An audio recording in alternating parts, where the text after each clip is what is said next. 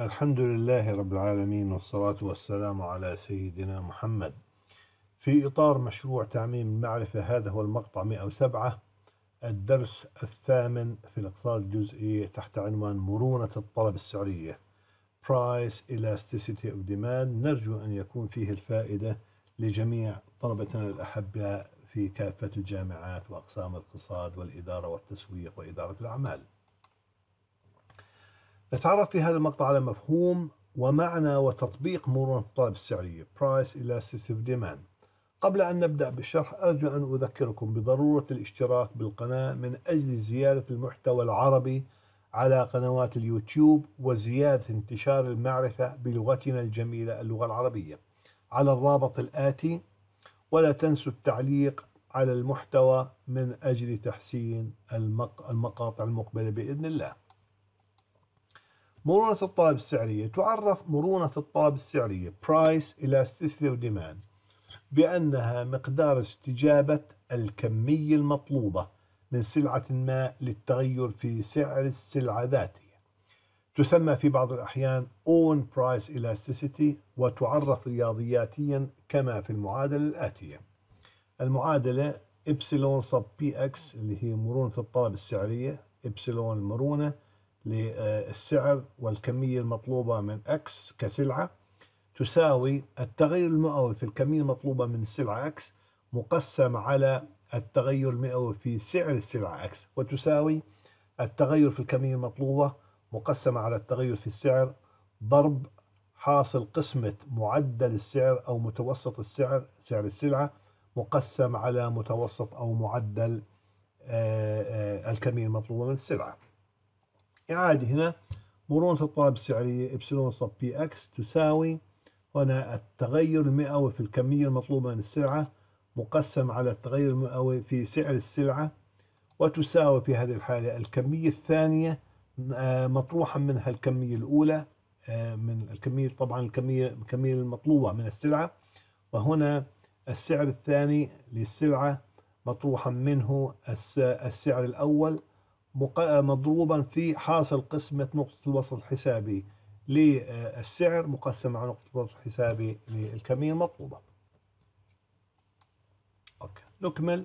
مثال لنفترض بأن أنا عندي بعض المعلومات البسيطة. مثال كمثال بسيط على الكمية المطلوبة من سلعة لوحدة لكل فترة زمنية. الوحدة ربما تكون بالكيلوغرام بالغرام بالمتر مربع بالمتر مكعب وهكذا. وسعر الوحدة الواحدة من السلعة. لنفترض الآن بأن الكمية المطلوبة كانت 10 كيلوغرامات يوميا في كل يوم. طبعا عندما كان سعر السلعة 15 دينار لكل كيلوغرام. فارتفع السعر من 15 دينارا لكل كيلوغرام إلى 22 دينار لكل كيلوغرام. فحسب قانون الطلب عندما ترتفع الأسعار تنخفض الكميات المطلوبة. فانخفضت الكمية المطلوبة من 10 كيلوغرام يوميا إلى 7 كيلوغرامات يوميا. وكذلك الأمر عندما ارتفع السعر من 22 دينار للكيلوغرام إلى 30 دينار لكل كيلوغرام فانخفضت الكمية المطلوبة من 7 كيلوغرامات يوميا إلى 3 كيلوغرامات يوميا. ما يعني الآن بأن حسب قانون الطلب زيادة الأسعار ارتفاع الأسعار أدى إلى انخفاض الكميات المطلوبة. يمكن لنا أن نحسب مرونة الطلب السعرية بين أي زوجين مرتبين. يمكن حساب مرونة الطلب السعرية بين أي نقطتين اللي هي زوجين مرتبين هذا الزوج مرتب الأول هذا زوج مرتب ثاني هذا زوج مرتب ثالث اللي هو 10 و15 كزوج مرتب. يختلف عن 7 و22 كزوج مرتب ثاني. وأخيرا زوج المرتب الثالث اللي هو 3 كيلوغرام مقابل 30 دينار لكل كيلوغرام.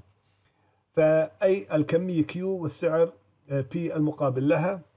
نطبق مباشرة حسب القانون الذي وضعناه والمعادلة التي وضعناها قبل قليل. ال epsilon sub P X اللي هو مرونة الطلب السعرية تساوي التغير المئوي في الكمية المطلوبة من السلعة X مقسم على التغير المئوي في سعر السلعة X وتساوي حسب القانون الذي وضعناه قبل قليل سبعة. طبعا بين نقطتين الآن بين النقطتين الزوج المرتب الأول والزوج المرتب الثاني. فسبعة ناقص عشرة مطروح منها عشرة مقسم على 22 مطروح منها 15 ضرب معدل أو متوسط السعر اللي هو 22 زائد 15 يساوي 37 مقسم على 2 مقسم كل هالكلام هذا أو هذه الكمية مقسم على 17 اللي هي 7 زائد 10 مقسم على 2 وتساوي سالب 3 مقسم على 7 ضرب 18 ونص مقسم على 8 ونص وتساوي تقريبا 933 بالألف. ما معنى هذه النتيجة؟ ما يعني الآن بأن على سبيل المثال زيادة السعر بمقدار 10% على سبيل المثال هذه الزيادة في سعر السلعة يؤدي إلى انخفاض الكمية المطلوبة بمقدار الزيادة في السعر 10 مضروبة في المرونة اللي هي 933 بالألف وتساوي 9.33% بالمية بمعنى تقريبا أقل من 10% بقليل وزيادة عن 9% بقليل. نكمل المثال. طبعا هنا قبل أن ننسى لاحظوا الإشارة السالبة دائما وأبدا إشارة مرونة الطلب السعرية إما سالبة أو أنها صفر. أوكي؟ فمعنى لا هي سالب ولا هي موجب لكن دائما وأبدا لأنه آه، آه، عند ارتفاع الأسعار تنخفض الكميات المطلوبة وعندما عفوا يعني زيادة الأسعار تؤدي زيادة انخفاض الكمية المطلوبة وانخفاض الأسعار يؤدي إلى زيادة الكمية المطلوبة وبالتالي دائما وأبدا عندي إشارة سالبة بتكون النتيجة النهائية لكن نأخذها ككمية مطلقة حتى نتعامل معها بالتفسير الذي ذكرته هنا. نكمل المثال.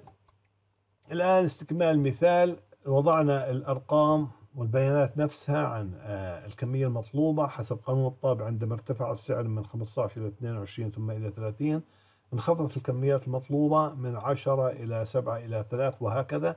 فالآن أريد أن أحسب مرونة الطلب السعرية بين الزوجين المرتبين 7 و22 مقابل 33 فهنا آه، ال epsilon sub P X مرونة الطلب السعرية تساوي التغيير المئوي في الكمية المطلوبة من السلعة X مقسم على التغيير المئوي في سعر السلعة X تساوي 3 ناقص 7 مقسم على 30 ناقص 20 هذا الجزء الأول.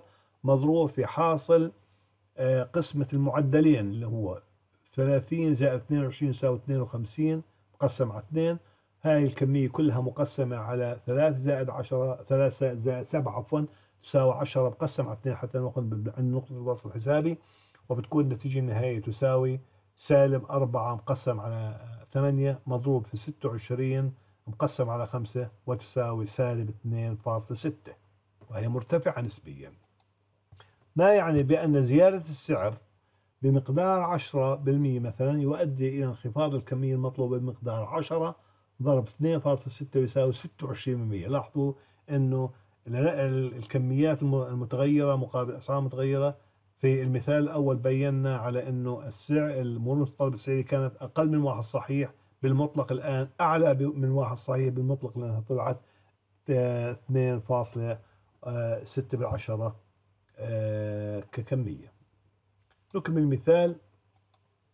الآن نفس الأرقام الأرقام ذاتها لكن بدي الآن أحسب الطلب السعري بين العشرة و15 كزوج مرتب و33 كزوج مرتب فالنقطة هذه مقابل النقطة هذه.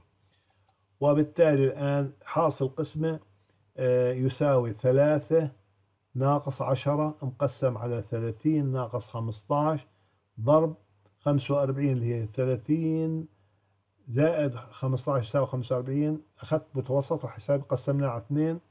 وهذه الكمية كلها مقسمة على ثلاثة زائد عشرة يساوي ثلاثطاش مقسم على اثنين وتساوي سالب سبعة على خمسطاش ضرب اثنين وعشرين ونص على ستة ونص وتساوي تقريبا واحد فاصلة 62 كقيمة كقيمة مطلقة. يعني أعلى من واحد لكنها أقل من اثنين. ما يعني بأن زيادة السعر في هذا المثال. بمقدار 10% مثلا يؤدي إلى انخفاض الكمية المطلوبة بمقدار 10 ضرب 1.62 وتساوي 16.2 بالعشرة بالمية. وهكذا.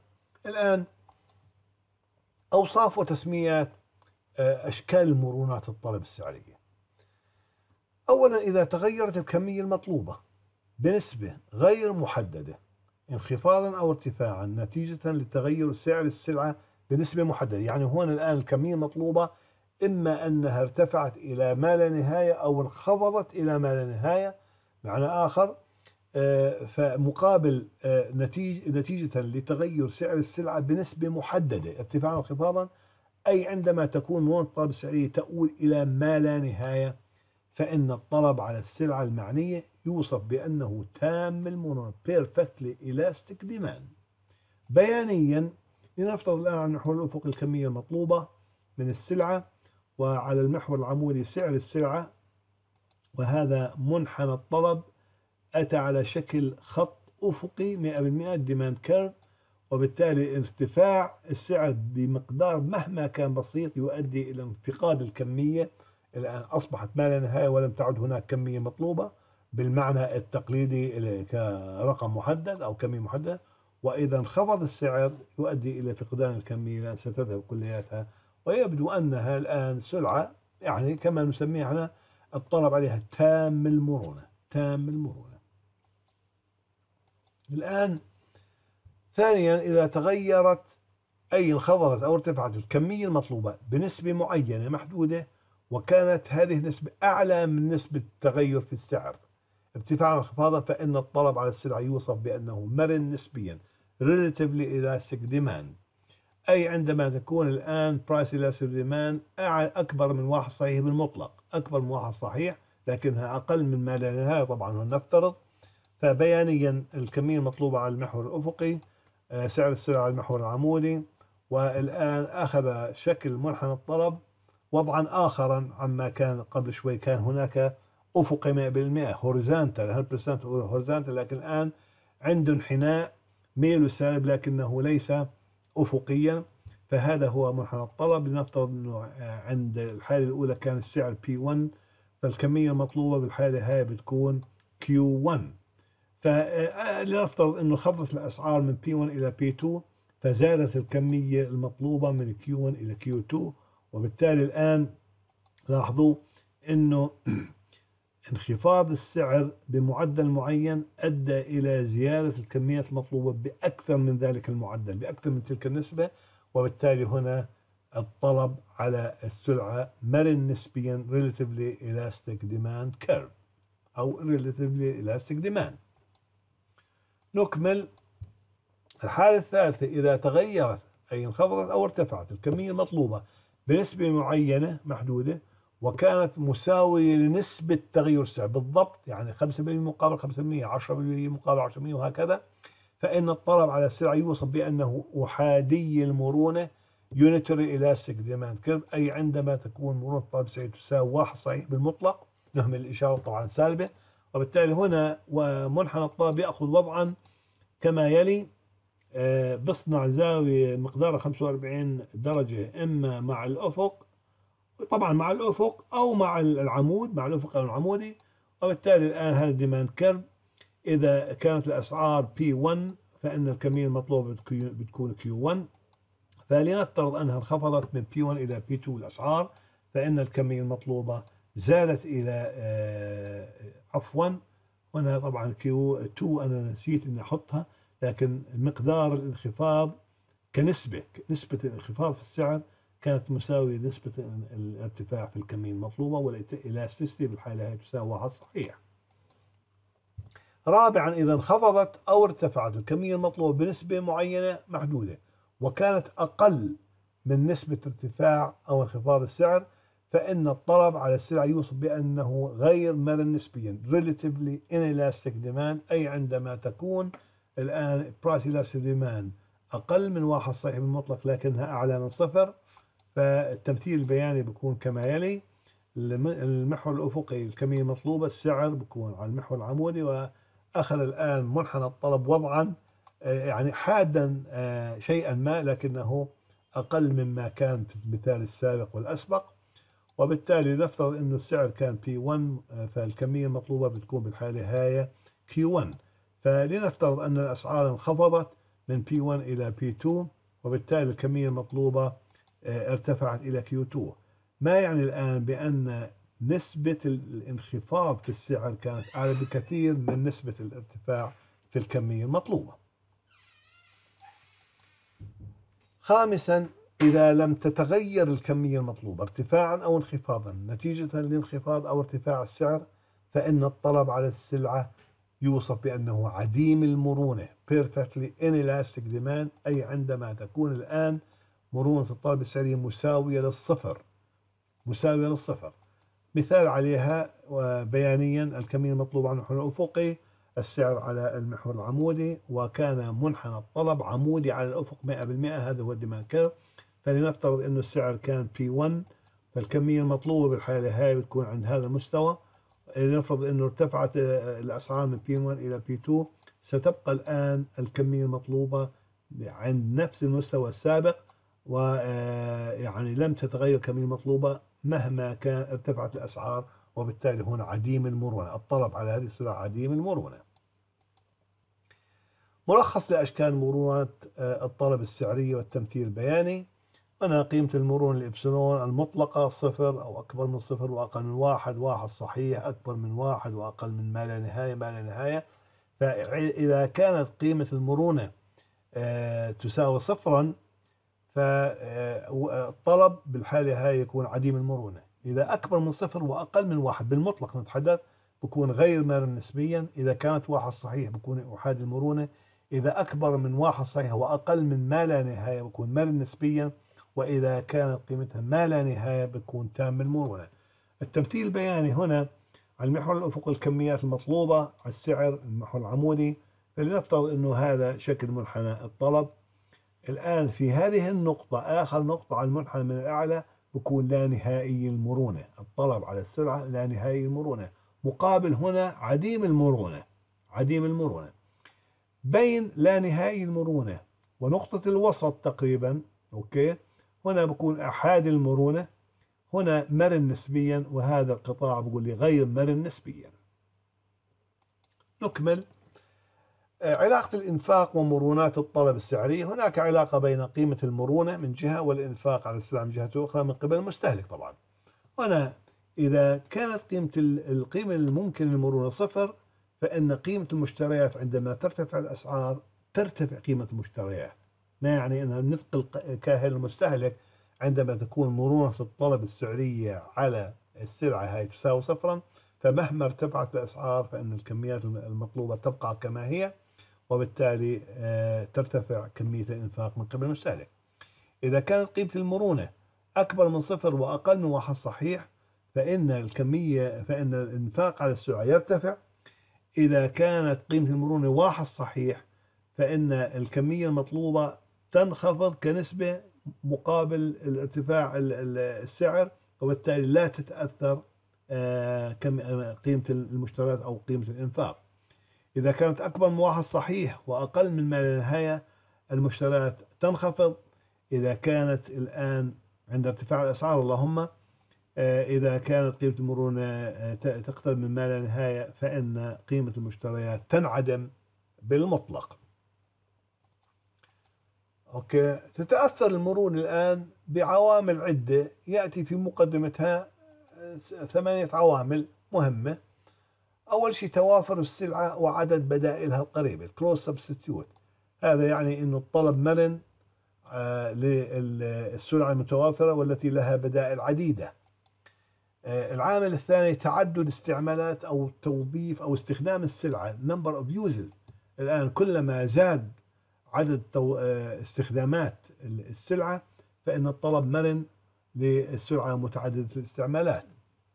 الآن ثلاثة حصة الإنفاق على السلعة من موازنة طبعا الإنفاق على السلعة من موازنة المستهلك أو share of expenditure from total expenditure آه وارتفاع سعر السلعة. هذا الطلب مرن للسلعة التي تستحوذ على حصة كبيرة من الإنفاق ومرن للأسعار العالية. آه رابعا طبيعة السلعة ضرورية كانت أم كمالية؟ الطلب مرن للسلعة الكمالية وغير مرن للسلعة الضرورية. خمسة آه، مستوى دخل المستهلك consumers income كلما ارتفع الدخل قلت المرونة وبالتالي الطلب منخفض آه، المرونة للدخل العالي. آه، ستة مدى إمكانية تأجيل شراء السلعة. هنا إذا كان المستهلك عنده إمكانية أنه يأجل شراءه والطلب مرن للسلع التي يمكن تأجيل شرائها آه، سابعا مدى تعود المستهلك على السلعة فكل ما تعود زاد التعلق بهذه السلعة آه، انخفض آه، انخفضت المرونة والعكس صحيح بكون الآن الطلب مرن للسلع التي لم يتعلق بها المستهلك. ثامنا الفترة الزمنية كلما زادت الفترة الزمنية المتاحة أمام المستهلك.